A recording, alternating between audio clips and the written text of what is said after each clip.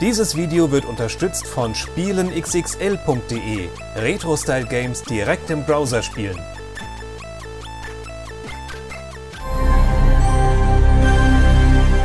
Hallo und herzlich willkommen zu Retroplay. Hallöchen! Wir gucken uns heute, gucken wir uns wieder ein C64-Spiel an. Und zwar müssen wir in ein Spukschloss.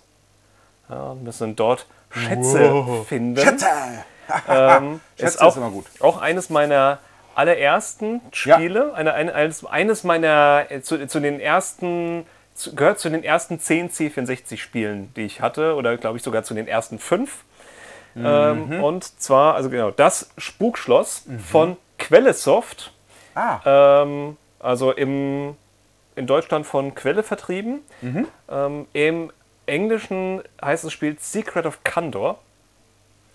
Das wäre und- auch im Deutschen viel zu kompliziert gewesen, das Ding das Geheimnis von Kandor zu nennen oder so. Ja, aber es ist Das so ein bisschen. klingt so ein bisschen kindergerecht so. Ja, und äh, die, die Cover-Grafik ist auch, glaube ich, kindgerechter, als sie im, im Original ist. Ja, Im, im Und Original es weißt du, ist aber auf, so, ah, aber es ist auf Deutsch. Also es ist, äh, ist auch Das ist im Spiel über, es worden, ist okay. lokalisiert worden. Und ähm, ja, Worum äh, geht's denn da jetzt mal so in du musst in das Schloss und Schätze finden. Und es ist schwer. Auf Level von schwer von 1 bis 10 sind wir so bei 17. Zwischen, auf Level zwischen 1 und Hexenküche ist es, glaube ich, bei 8.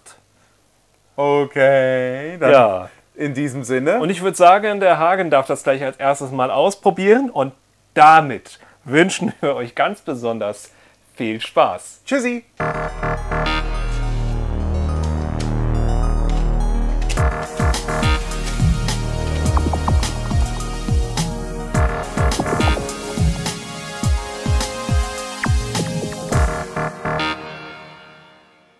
Das Spukschloss von Quellesoft. Wir sehen hier einen äh, Schlüsselhaken frohlockt schon Ich, innerlich. frohlocke, ich habe schon Tschüssi gewünscht, anstatt viel Spaß. Es ist klar, was jetzt kommt, oder? Oh Ja, ich habe dich aber abgewürgt, Hagen. Das ist alles gut.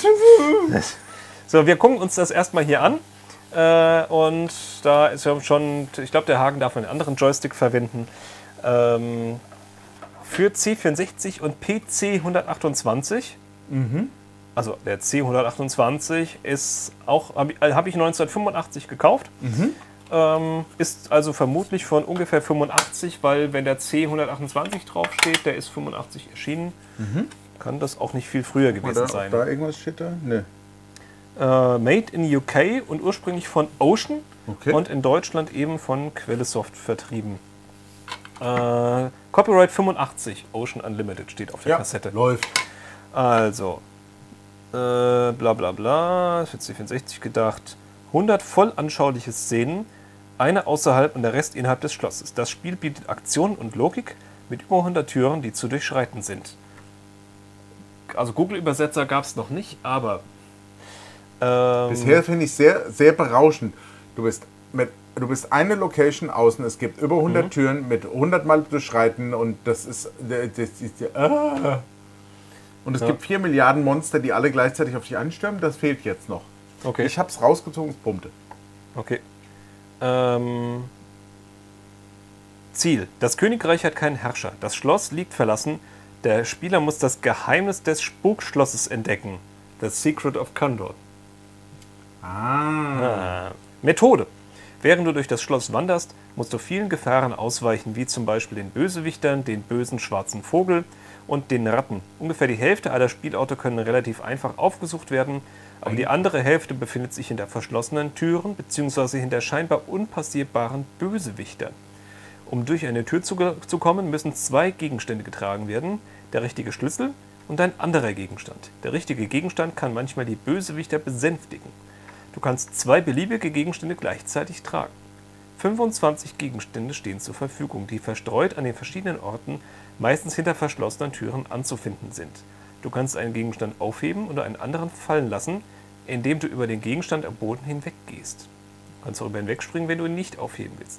Es müssen vier Talismane gefunden werden, bevor das Geheimnis entdeckt werden kann. Äh, la, la, la. Das kommt mir so bekannt vor. Drei Hast du das Leben. in Jahren mal gespielt. Nee, stimmt nicht. Also wir haben äh, Wie hieß Schrecken, das mit Schloss Schreckenstein. Ja, und da war doch auch gespielt. mit sammle 10.000 verschiedene Gegenstände ein und Schlüssel und stirb. So ähnlich. Das war auf dem Atari, aber es ist ein völlig anderes Spiel. Ich wusste doch, Das was Geheimnis des Spukschlosses liegt hinter der letzten Tür verborgen, die sich nur dann öffnen lässt, wenn du alle vier Talismane gefunden hast. Kannst du das Geheimnis des Spukschlosses entdecken? Das Spiel lässt sich sehr einfach beginnen. Ein kleines Kind würde sehr viel Spaß daran finden, bloß im Schloss herumzuwandeln. Es erfordert jedoch vorzügliche Orientierungsfähigkeiten, Planung und Ausdauer, um alle Türen zu öffnen und das Geheimnis zu entdecken. Das Spiel beinhaltet viele Merkmale eines klassischen Abenteuers, wie zum Beispiel Labyrinthe und Verbindungsgänge, aber auch genügend Aktionen und eine äußerst schwierige Lösung. Äußerst schwierig. Vielleicht ist es auch äh, zwischen 1 und Hexenküche irgendwie auf 9. Äh, das Schloss ist in sieben Geschossstufen unterteilt, die von unterirdischen Gängen bis zu den Spitzen der Türme reichen. Und äh, Hagen, ich erinnere nochmal, ähm, du kannst, du brauchst für die Türen einen Schlüssel. einen Schlüssel und den passenden Gegenstand. Und den Gegenstand sehe ich aber nicht, das weiß ich erst, wenn ich tot bin. Ähm, du, Oder steht der da irgendwie? also es gibt 25 Gegenstände Ja, und wahrscheinlich auch einfach zu 25 Schlüssel. Ja. Das heißt, du musst, äh, um eine Tür zu öffnen, Mhm. musst du 25 mal 25 Kombinationen die Tür, die du durchprobieren musst. Aber du kannst nur einen Gegenstand immer gleichzeitig haben, vermute ich mal. Oder Ein, darfst du sie zwei Gegenstände. Und du darfst sie nicht irgendwie einsammeln, die anderen. Nein, du kannst ja nur zwei tragen. Ja, ja, Also, klar. es ist ein. Das macht es viel einfacher. Genau, ist viel einfacher. Selbsterklärend. Max Montezuma sagt, Hagen schafft das gleich im ersten Versuch. Siehst du, der Twitch-Chat feuert dich an. Feuert mich hier. Hagen, du Niete, Tu nimm es! die Urne. Wir probieren das jetzt einfach mal Ja. und gucken mal rein. So, und da sehen wir schon Oh, das, das, äh, das ist das gleiche Schloss. Hintergrundbild und das das, Schloss. Spukschloss, Quelle Soft. Sehen es, wie wir sagten, lokalisiert. So, ich glaube, er braucht jetzt ein bisschen zum Laden, aber ich mache mal Warp-Modus. Im Emulator ist der große Vorteil. So, das Spukschloss, Anleitungen. Aber nicht. Das du Geheimnis weißt vom geht. Spukschloss liegt tief in der Burg verborgen. Um das Geheimnis zu entdecken, müssen Sie alle Türen öffnen. Lalalala. Joystick mit. Eingang 2. Dann drück doch mal Feuer. Wo bin ich denn? Das da? Ach, das Ja. da. Was denn jetzt? Du hast. Ja, du, das ist der, der Infobildschirm. Mach, dann halt doch mal gedrückt. Achso. Ich kann nicht. Dennis ist. Dennis, sobald ich. Sie tragen den kleinen Schlüssel, den großen Schlüssel. Sie haben null Orte besucht, Ihre Punktzahl ist null. Sie haben drei Leben übrig. Kann ich jetzt diesen Schlü Schlüssel da benutzen? Wie benutzen? Neben den da, der da rechts. Ihr muss drüber laufen. Ich kann nicht nach unten. Wir müssen nicht, nein, drüber laufen. Einfach nur laufen, drüber laufen. Nicht aufnehmen, nur drüber laufen. Einfach nach rechts. So, jetzt hast du den aufgenommen. Also, Und wenn du jetzt. Jetzt hast du den kleinen aufgenommen. Jetzt hast, jetzt hast du den großen aufgenommen. Jetzt hast du wieder die beiden Schlüssel, die du am Anfang hattest. Jetzt hast du. Geh nach unten.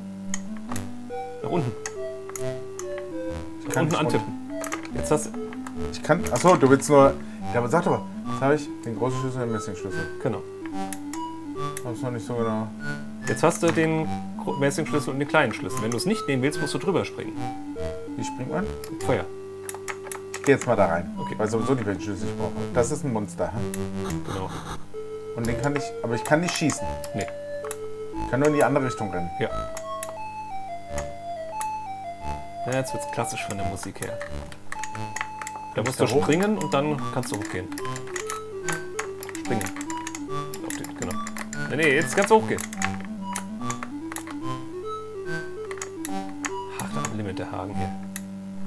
Ah! Hüpf doch! Wo stehen jetzt hin? Ja, die Türen. Wo sind denn Türen? Da waren noch jede Menge Türen. Wo waren da Türen? Da sind vier Türen.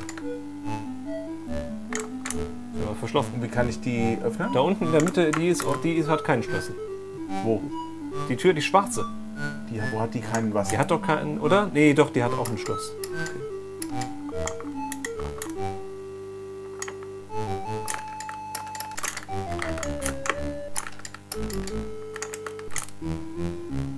Die Ratte Born läuft gesagt. drüber. Tot. Mein Gott, Quelle hat, Soft hat Castlevania vorweggenommen, sagt King Bongo.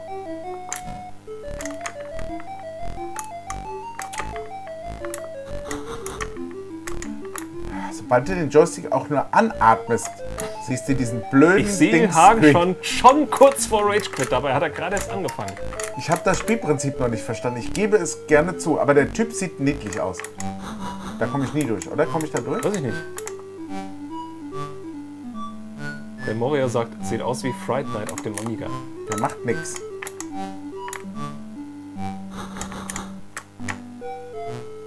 Logical Lee sagt, es gab sogar eine Compilation mit dem Titel Action mit Quelle.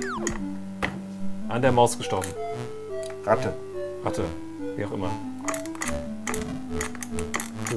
Du, du magst das, die Schlüssel durchzuwechseln. Ja.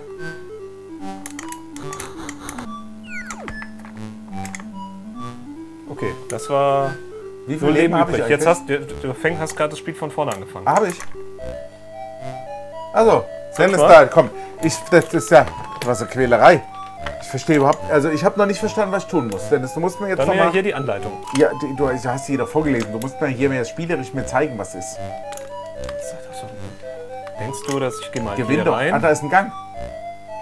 Wo wusstest du, dass da was ist? Ich habe das halt schon mal gespielt. Mhm. So, wir müssen jetzt irgendwie hier Gegenstände finden.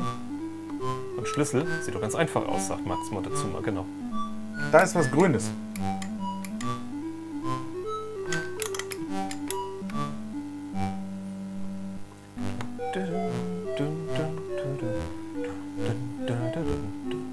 Kannst jetzt eigentlich auch wieder hochlegen. Uh, das war aber knapp mit der Ratte.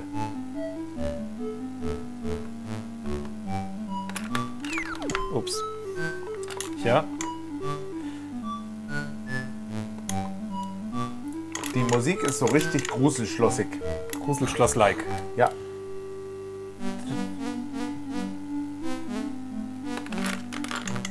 Immer nach unten, Menschen.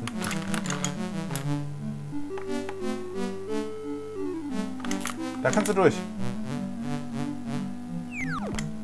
Nee, man muss ihn Du warst erst. zu langsam. Nee, man muss erst warten, bis er einmal geschlagen hat. Was höre ich auch auf dich? Hier runter und dann nach rechts. Genau, da ist eine offene Tür. Da gehen wir jetzt mal hin, weil die sind ja meistens hinter Türen. Die jagt dich. Aufpassen. Lächeln. Ein Leben übrig. Mach doch mal was. Ich Ja, da, ich bin fast gestorben. da ist nichts. Ja, da ist nur eine Todesfalle. Zum Beispiel Fledermäuse, die von unten kommen. Nicht? Ja, ich dachte, dass ich woanders bin. Nein, du bist nicht woanders. Du bist genau da, wo du eben schon warst. Gleicher. Ah, nur da. Okay. Ja, Aber dafür war äh, die Maus weg. ja. Ratte. Achtung.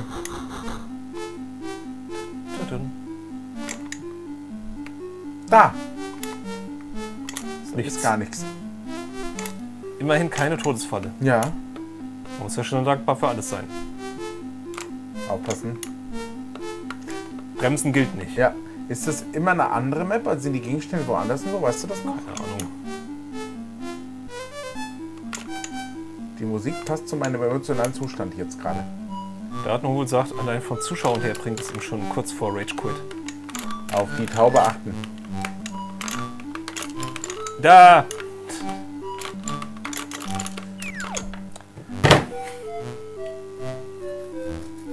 Mach noch mal und gewinn mal was.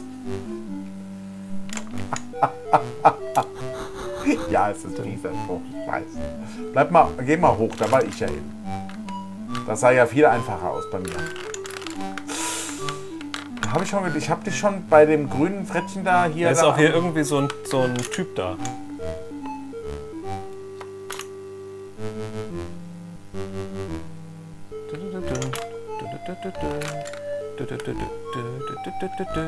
Ah, die sind oben. Aufpassen. Stay focus. Da oben gibt es aber nichts. Wieso gibt's da nichts? Doch. Ja, da geht's doch. Ja, da hüpf.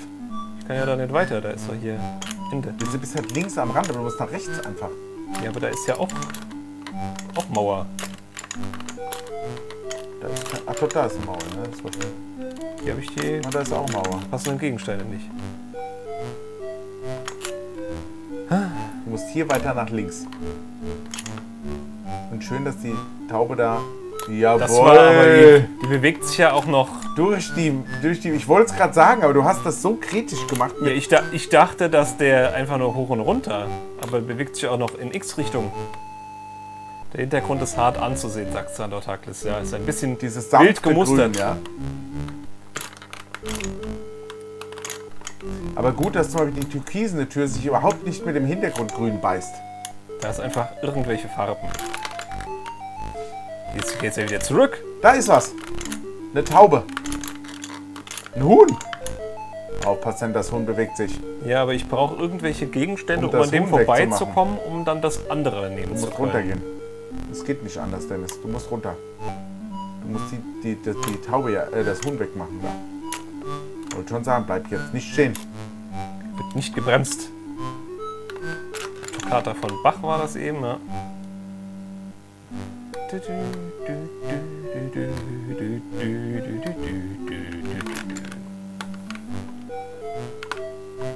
Da kann sie nicht. Kann sie nicht, du musst runter.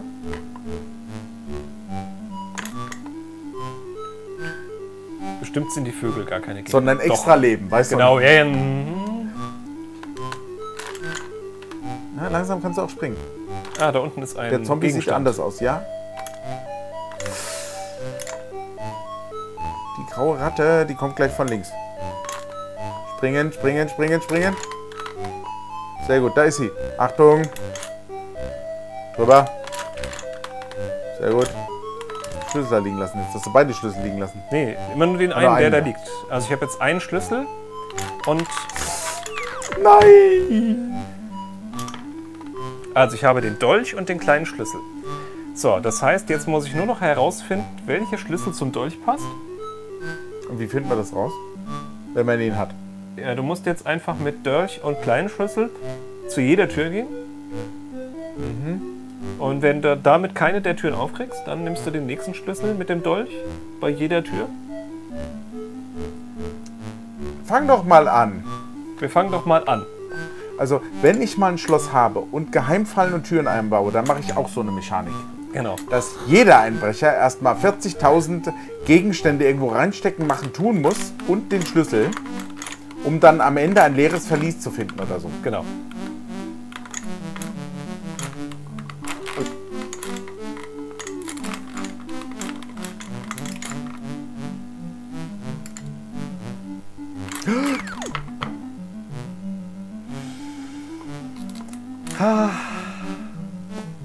Hallo Benny.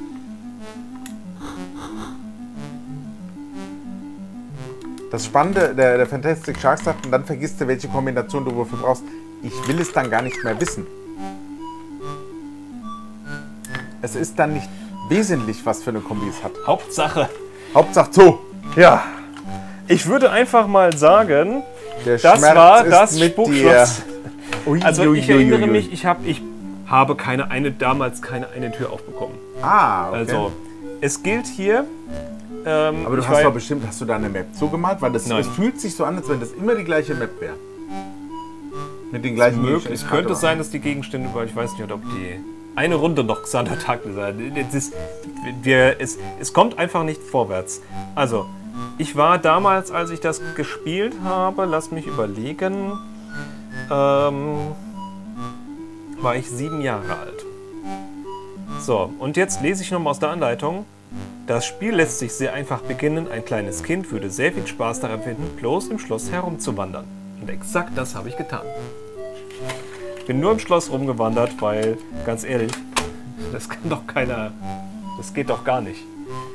Also, ich finde es ganz nett gemacht, aber die Mechanik, es gibt 25 Schlüssel irgendwo, mit 25 Gegenständen irgendwo, zu irgendwelchen Türen und du stirbst ständig. Und mit einer kurzen Berührung bist du sofort tot. Und das Springen ist unsauber und das Treppen runtergehen und hochgehen auch. Ja. Du hattest schon gespielt, oder? Ja. Ja. Wäre jetzt nicht so, wenn nicht so auf meiner Hitlist, sag ich mal, das Spiel. Ja.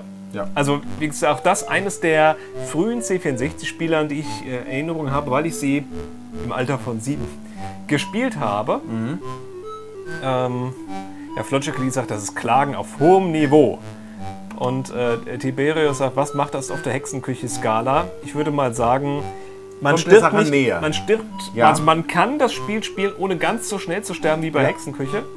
Aber ich glaube, Du kommst ohne... der Lösung aber dafür auch nicht näher. Bei Hexenküche stirbst du dauernd, aber kannst wenigstens. Naja, du, du, kannst, du kannst das ja so machen, dass du sagst, du sammelst einen Gegenstand. Also jetzt mal unter der Annahme, dass Der es überall immer das gleiche ist. Ich Ja. glaube, es ist so. Dann musst du dir eine Karte malen, Mhm. dann guckst du, wo Gegenstände sind.